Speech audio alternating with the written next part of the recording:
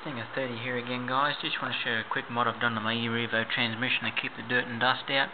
I've jammed some, um, just some hobby clay in here, the red stuff to help try and keep the dirt and dust out of it because there's a fair bit of dirt and dust leaks in through there.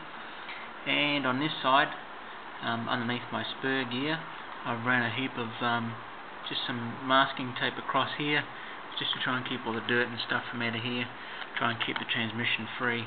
I'm actually running DeWalt motor and you can actually see I've actually covered up the, the top half here because I'm not running a dual motor and that there also help keep the dirt and dust out too.